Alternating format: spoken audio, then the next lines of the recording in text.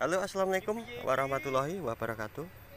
Terima kasih masih nyimak dan setia dengan channel Porang Indonesia. Kali ini kegiatan kita masih di lahan porang kawanku ya. Kali ini kita akan membahas uh, konten konten yang lagi rame ya Konten yang lagi rame. Uh, Lahan porang uh, ditebang. Lahan porang ditebangi, dipotong. Kita lihat, kita simak seperti itu ya yang lagi lewat ini.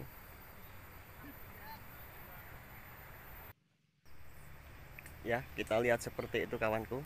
E, dalam kata-katanya itu iki piye iki? Ya kita nggak usah terpengaruh kawanku ya. E, banyak di medsos itu yang menanyakan harga.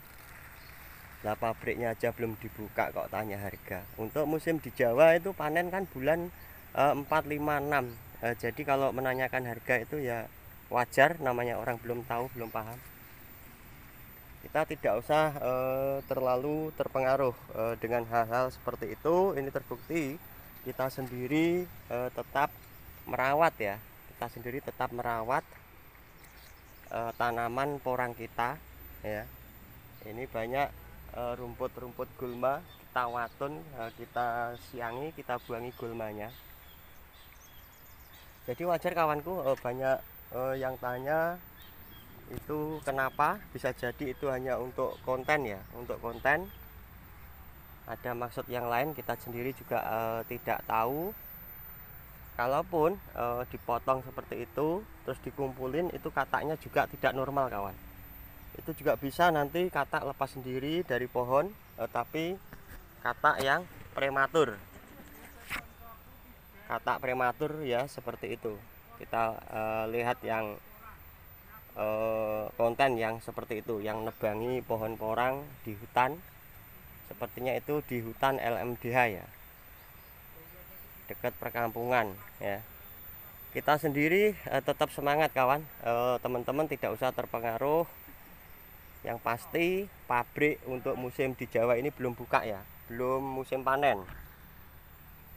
Ini terbukti kita sendiri tetap merawat ya merawat lahan porang kita. Ada juga oh, kita lagi tanam bibit dari spora ya. Biji bunga dalam bahasa umum spora. Ya Thomas Oke. nah seperti ini. Ini bibit biji bunga yang dimasukkan di polybag ini tidak terawat makanya kita rawat kawan. Ya kita rawat. Ada yang hijau ada yang kuning.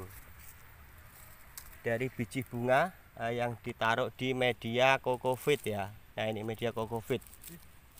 Eh, sabut kelapa yang dicacah. Ini eh, sayang sekali kalau tidak kita rawat. Eh, jadi kita tanam eh, di sela-sela tanaman porang yang sudah besar. Ini dibuatkan bedengan kawan ya. Dibuatkan bedengan eh, kemudian nanti eh, bibit spora ini kita pindah ya. Kita pindah ke lahan yang sudah tersedia. Ini ada 10 20 kawan. 20 20 kamplek ya. Tetap kita uh, tanam kembali uh, di antara pohon porang yang besar uh, sayang sekali. Ini terbukti ya membuktikan bahwa kita tetap semangat budidaya porang. Jadi untuk teman-teman dulur-dulur petani porang seluruh Indonesia kita tidak usah terpengaruh hal-hal seperti itu yang membuat ngedon membuat ngedrop para petani pemula ya. Konten seperti itu ada maksud apa? Kita sendiri juga tidak tahu. Yang pasti kita tetap semangat untuk membudidayakan orang ya.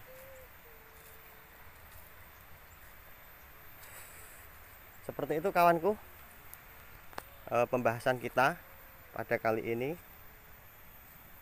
Tetap semangat e, yang budidaya porang.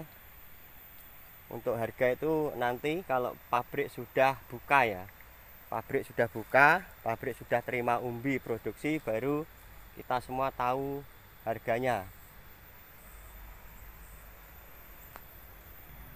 Jadi sekali lagi kawan-kawan, eh, dulurku petani porang seluruh Indonesia, kita tidak usah terpengaruh dengan hal-hal yang membuat eh, para petani pemula eh, ngedrop ataupun ngedon untuk budidaya. Wajar untuk saat ini banyak yang tanya harga. Seperti tadi saya sampaikan untuk harga sendiri itu nanti kalau sudah e, pabrik mulai buka ya.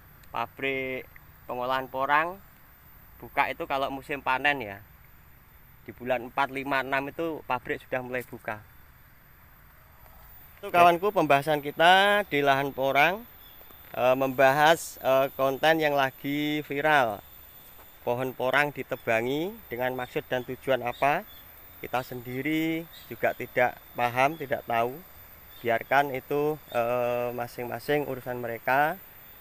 Setiap orang punya hak pribadi masing-masing. Seperti petani kita sendiri tetap semangat untuk merawat e, lahan porang kita. Oke saya akhiri. Salam sehat salam sukses. Terima kasih yang sudah nyimak channel porang Indonesia semangat terus. Saya akhiri. Wassalamualaikum warahmatullahi wabarakatuh. Matur suwun. Nuwun